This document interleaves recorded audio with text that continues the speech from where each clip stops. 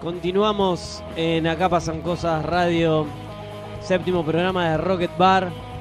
Y ahora tenemos uno de los momentos más esperados de la noche, porque tenemos el acústico con una banda legendaria, formada en 1995 de punk rock, skate rock, muy queridos por todo el rock nacional. Charlie 3, en exclusivo para Acá Pasan Cosas Radio.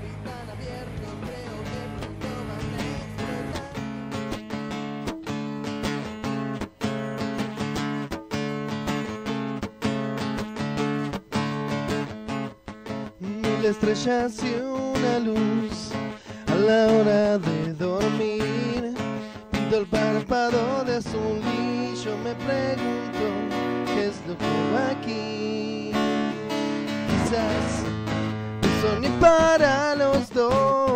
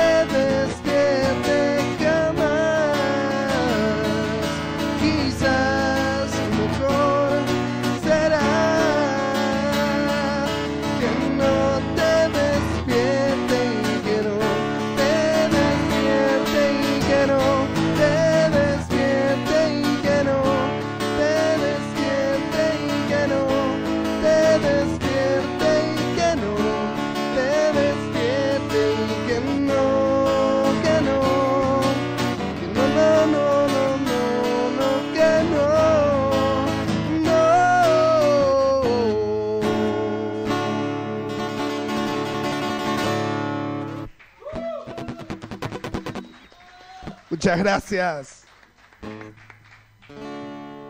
¿Vamos con otra? ¿Hacemos otra?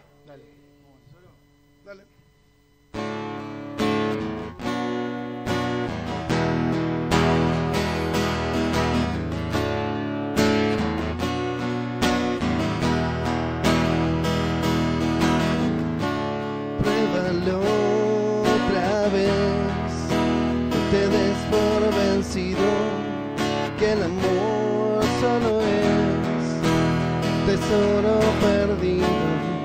Quiero robarle brillos a tus ojos para que me den algo de tu antojo y volverte a mirar como alguna vez vos lo supiste hacer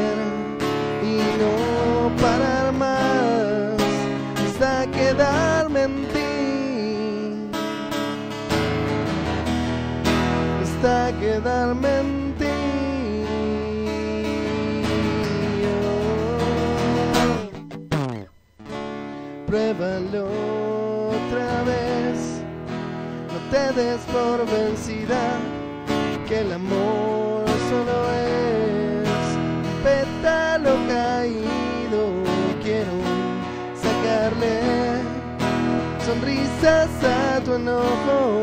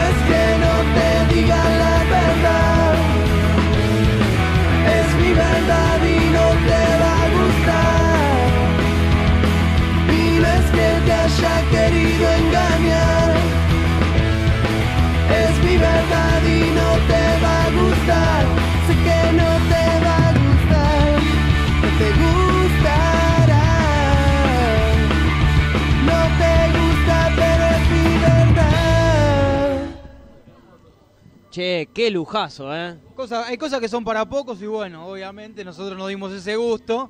Dimos ese gusto, acá los tenemos a Charlie 3 con nosotros. Este, no- sí, eh, chicos, gracias Estamos por... así eh, como- Estamos Estamos muy... impactados, quedamos como, como puestos, ¿viste? Quedamos de ahí arriba. como- Lo que pasa es que es una banda... Una banda grosa, ¿eh? Yo tengo una remera que la llevé en blanco y me la traje estencilada con el escudito de Charlie 3. Con la chica. Tengo, sí, 31. 31, 31. Me hago cargo. 1995 empezó todo esto. Empezó y yo no estaba en ese momento en el grupo. El pelado, el pelado empezó con, con Birdi. Venía de otra, de otra banda. Estaba eh, Debo cerca de ellos, pero no estaba dentro del grupo en el 95, tenía en el 97. Yo llegué en castellano. Me hago cargo Ah, de que igual llegué en castellano. Yo llegué ya con Charlie 3. Sí. Digamos, no llegué con Charlie, con Charlie Brown. Pero sí lo escuché, obviamente, Claro. en su momento. Pero 10 años ya de este disco que ustedes Sí. este, lo llevó a dar vueltas por todos lados junto con Sí. Lucero, ¿no? Que fue la Sí. piedra fundamental, creo yo. Sí. Producido por Z, Lucero, ¿verdad? Así es, sí, sí, sí. Qué bien, me, me- me gusta hacer notas Estoy con, con periodistas que, que- que estudiaron, que hicieron, la- Pará, hicieron gana- la tarea. ganadores de Premio MTV con Desamor, Sí, sí, sí. ¿eh? Con Desamor, también. con el di- 10 añitos de Desamor. Sí, sí, estábamos haciendo un show, este, un aniversario de Desamor. Eh, lo estamos promocionando de alguna manera el sábado 28, eh, el próximo, este sábado no, el que viene, en la sala, ahí frente a Parque Centenario, en la avenida Díaz Vélez, al 4800. Vamos a estar haciendo los 10 años de Desamor, algo que generalmente no hacemos, que es tocar un disco completo. Es la primera vez que lo vamos a hacer. Así que nada. Al hilo en estamos- orden uno atrás del otro. Y no sabemos todavía. No, Está, está la Sí, pelea, hay una pelea yo creo interna ahí. sí, ¿Sí? Yo creo que sí, yo creo que sí. Igual vamos a, a estar tocando mate- temas de, de otros discos también. Sí. Obviamente, ¿no? Pero vamos a tocar el disco entero, que como te decía él, no solemos hacer, porque uno, viste, toca algunos temas del disco. Por Lógicamente. Así que esta vez sí vamos a tocar el disco entero. Y bueno, también estamos haciendo como una reedición. Hicimos una reedición del disco para los fanáticos, unas copias este, nuevas. Y Vi hicimos- unos muñequitos también ahí que se están está. haciendo. Hicimos- Los muñequitos vuelven también. Hicimos la revisión de todo el merchandising de la época para los que no, no pudieron comprarlo en su momento y los coleccionistas. Este, acá gracias a, Fernanda, a Carolina, a todas las que nos están ayudando también con el, con el tema de la fabricación, va a estar la feria a pleno. Ya se, se- se transformó en un eh, en algo familiar, digamos, toda la fecha, porque están todos en colaborando. En algo mítico también, ¿no? Es como. Yo eh, no, no les quiero, no les quiero, digamos, tirar la presión, pero estaba viendo la fecha de nacimiento de cada uno. Y cuando salió este desamor, ¿no? Sí. Maleducado. Maleducado. No, pero cuando salió desamor, los chicos rondaban los 30 años, Sí, pasaron 10 años, sí, sí, sí, sí, es ya así. son tipos de. Te van a cagar a trompada, es boludo. así. Te van a No, está bien. todo bien. Y ya so- y, ¿Y cómo es? ¿Cómo es esto de, después de 10 años, recordar un disco? ¿Qué recuerdan de esa época? A ver, yo tengo 31, Sí. no me imagino los 40, pero esa energía se mantiene. ¿Cómo es Charlie 3 después de 10 años con este disco? Eh, mirá, eh, estamos en un momento bárbaro, donde nos sentimos muy bien, como si fuese una, una especie de, de adolescencia nueva que está viviendo el grupo, este, porque estamos muy motivados, eh, estamos terminando un disco nuevo, y justamente veníamos hablando de él, estamos escuchando las mezclas. Que la banda es la excusa para rajarnos de casa y seguir Siguen saliendo cosas del baúl. 30. siguen- hay cosas todavía para decir, hay cosas todavía para hacer. Sí, sí, sí, yo creo que, que salen las canciones, acá este, siempre la, la química y la, y la sorpresa que me genera a mí escuchar eh, canciones, cuando me muestra el pelado, cuando yo hago se lo muestro a él y Birdi participa. y es una cosa que, sigue fluyendo y no es una, llama que sigue ardiendo. ¿Sabes qué es lo importante y un privilegio que tenemos nosotros en particular? Que somos los mismos de siempre. Y que somos tres amigos que nos conocemos de chicos, hicimos una banda y somos amigos aparte de la banda. O sea, la banda va creciendo junto a nosotros y no se va a morir nunca. Entonces es como que siempre vamos a tener la energía renovada porque vamos pasando por la vida junto con la banda y es todo lo mismo, digamos. Entonces ahora, por ejemplo, la, ahora estamos haciendo un disco nuevo, aprovecho para, para eso. Bien. Está en Queríamos, la- queríamos, En queríamos. la, en la última etapa lo estamos eh, grabando con Pablo Coniglio, con el bajista de Shaila, que nos está produciendo.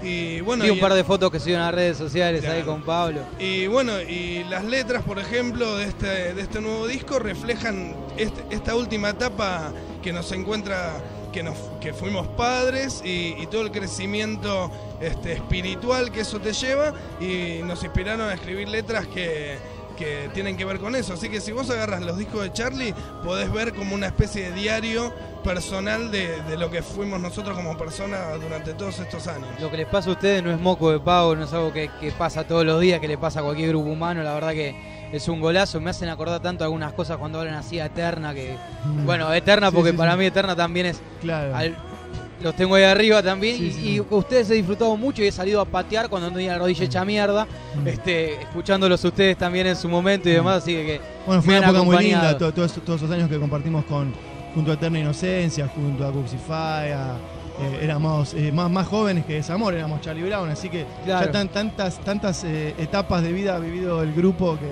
que bueno, es, es una historia. Y, y en aquel momento ser ganadores de un premio MTV por Desamor, digamos, ¿cómo, cómo fue? Diga- eh, Es, es como... Sí, sí, es, fuerte. es- grande, digamos. O sea, Sí, no, sí. no, no cualquiera. Tenemos hitos en la historia del grupo como ¿Cómo lo ese, llevaron, como por digamos? ejemplo haber tocado con Bad Religion también, son cosas que, que nos marcaron a fuego. Tenemos como el premio del, del mercado, que fue ganar el premio MTV, que la verdad que nos que fue algo que se dio, o sea, ustedes se lo Se dio, de no, golpe, no. No, la verdad que no lo esperábamos. Este, nos venía yendo muy bien con los videos. Acá Martínez, el que hace los videos, en, en ese momento también colaboraban. Apareció una versión de. Desamor que estaba desclasificada hace poquito, Sí, ¿no? sí, sí, una, una perla. Siempre le, le dimos mucha importancia a lo visual y a los videos, pero jamás habíamos pensado que, que íbamos a ganar el premio. Es más, apostamos a ir a México por nuestros propios medios. Qué importante que es el mercado Este, mexicano, me apostamos, parece. compramos un, un cuadrito con la Virgen de Guadalupe, ni bien bajamos y le rezamos hasta que No, lo ganamos. dijimos si, que si ganábamos nos llevábamos una cada uno o algo así, ¿no? Una cuenta promesa así, sí. Y después, bueno, tenemos el premio ese del mercado y después tenemos el premio de, de que los Bad Religion hayan querido que, que toquemos con ellos. Así que como que estamos satisfechos, pues tenemos el premio de, del espíritu de- real. Del under, algo así. Sí, de, de los grandes del pan rock que nos eligieron y también el premio del mercado que también nos eligió. No tenés que padrino, Este, no tenés padrino. Ya no Bueno, podemos morir tranquilos. y les está eso. produciendo el disco otro que también compartió escenario con Bad Sí, sí, sí, sí, sí, sí. Bueno, por eso lo eh, creo que teníamos ganas de hacer un disco que represente nuestras raíces, los, los discos que nos han marcado a fuego. Este, y creo que él representaba un poco eso y, y le doy esa impronta. Y ese disco. salto que ustedes dieron en su momento de- de- del inglés al castellano, eh, de hecho hay bandas en la actualidad que lo han dado hace relativamente poco y hasta ellos mismos consideran que les está costando. En ustedes fue un proceso natural. ¿Cómo apareció? De golpe dijeron, bueno, necesitamos transmitir de otra forma. ¿Cómo fue? Mirá. ¿Por dónde vino la mano? Estábamos ya eh, como En el momento que salieron las bandas de nuestro estilo, era como que cantar en inglés nos diferenciaba del otro pan rock que hacía por ahí dos minutos, flema. Nosotros estábamos proponiendo un, un pan rock más skater, más melódico. Más, más fanpipolero, digamos. Pipolero, y como que el cantar en inglés nos, nos diferenciaba. Después cuando ya el, el público empezó a querer entender más las letras, y nosotros me acuerdo que las traducíamos, las imprimíamos y las repartíamos tipo flyer en los recitales. Bueno, de la cancha, cuando ya Claro, a la cancha. tal cual. Para que la gente la- las entendiera. Nosotros ya estábamos con ganas de, de- de empezar a escribir en castellano y ahí es justo cuando nos ficha Z y nos propone grabar un disco y él nos propone, che, pero ¿por qué no lo canta en castellano? Y fue la, la gota que terminó de, de rebalsar el vaso y, y determinó la decisión que ya veníamos queriendo tomar. Y ahí se fueron para arriba. Y bueno, ahora viene. Sí, ahí se fueron para arriba y, a, y a subir. Eh, bueno, se viene nuevo disco, eh, show conmemorativo de Desamor. ¿Tiene título? ¿Tiene título el nuevo disco? Y hay alguna cosa ahí dando vueltas, pero no. No la queremos no, no, alargar. No, no, no, vamos a publicar. Díganos la nueva, la, la fecha 28 de mayo en dónde. 28 de mayo en La Sala, ahí frente a Parque Centenario, en el barrio de Caballito. Eh, Díaz Vélez al 4800 van a estar tocando los chicos de Katy Lee, van a estar tocando los chicos de Maleva, los chicos de Lunch también, abriendo el, el show. Así que nada, los esperamos a todos, los, los, los, los nuevos fans, los, los no tan viejos, este, para, para reunirnos. Un último comentario porque nos come el reloj mal. Dale. No, es impresionante lo que tatuás, pela, nada más. Es impresionante lo que Muchas gracias. Eh, yo quiero un tatuaje. Eh, les agradecemos mucho, chicos, a Charlie 3 por haber venido. La verdad, un lujo, una banda que queremos un montón y que significa mucho para, para la gente del under, para la gente del pan rock, del skate rock. Así que les agradecemos mucho por estar acá. Gracias por el Eh, espacio. Bueno, están invitados al show, ¿eh? Si quieren, Vamos a ir. venir. 28 de Yo quiero, mayo. quiero agradecer especialmente también a la gente del Rocket Bar. De Rocket ¿eh? Bar, por favor, que tiene una pizza vegana y una cerveza helada que, que Tal cual. todos los jueves nos hace disfrutar. Así que vengan acá a disfrutar todo esto. Eh, Lau, nos vemos el jueves que viene. Nos vemos el jueves que viene, nos quedó corto el programa, siempre es hora, pero hoy más que de costumbre todavía. Eh, chicos de Charlie 3, muchas gracias. Eh, Muchas gracias a ustedes. Nos vemos, programa. nos vemos, escúchenos el jueves que viene y vamos el 28. Eh, Santi, Nos vemos el jueves que viene, amigazos. Dani, Dani, Dani, Hasta el jueves próximo. Atila, gracias por producirnos de acá. Que os vaya bonito.